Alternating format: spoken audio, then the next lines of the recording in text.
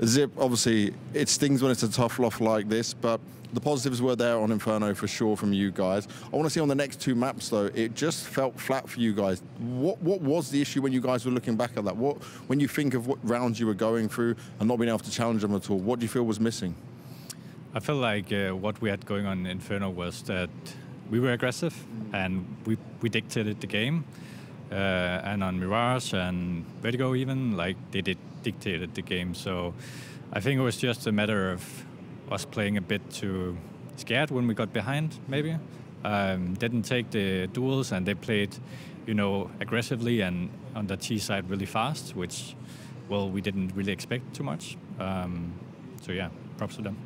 And one thing I would say when it comes to the Vertigo side, I was seeing that when you're talking about like not being as aggressive there, there was like the pistol round, for example, nice setup, you managed to walk away with it, that you're waiting for him to come into you, that was good. But then it was like the CT rounds following up with guns, you were also doing the same, and they were kind of being able to take a lot of control. Is that what you were noticing?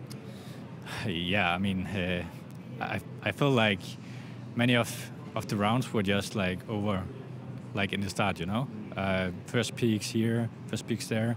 Like we didn't really string around together on CT side. I felt, uh, at least on Vertigo.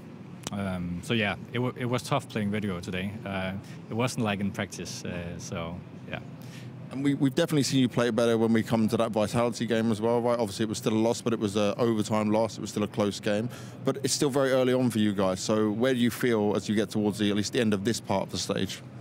Well, there is positives to go uh, take away from here. Definitely, like the Inferno game, uh, Vitality. I think we played great. Uh, um, they played better, but I, I, think there is positives to take away, and obviously there is uh, hard work. Uh, we need to be, well, we need to be working on on some stuff. Um, and, and, we got some uh, days to, to do that now before the gauntlet kicks off. So, yeah, um, we put in all the hours now and and come back stronger for, for Gauntlet.